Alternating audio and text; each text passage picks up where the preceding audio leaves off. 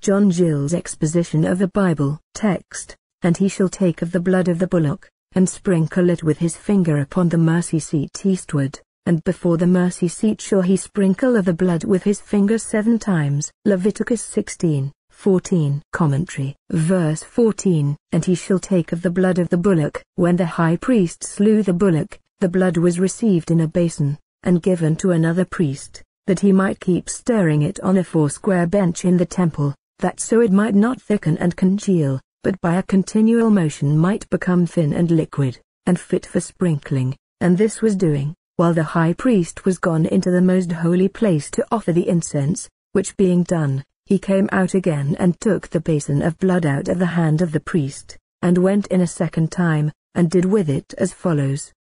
And sprinkle it, with his finger upon the mercy seat, eastward, with his right finger, or forefinger, as the Targum of Jonathan, and the blood sprinkled with it did not fall upon the mercy seat, as our version seems to intimate, but it was sprinkled over against it, towards the upper part of it. Ibn Ezra says, that according to their interpreters, upon the face of the mercy seat, as the words may be literally rendered, signifies above, between the two bars, and here it was the high priest stood, for, according to the Mishnah, he went into the place where he had gone in, and stood in the place where he had stood, and then sprinkled, that is, in the same place where he had been and offered the incense, see Gill on Leviticus 16, 13, and here he stood, not with his face to the east, for then his back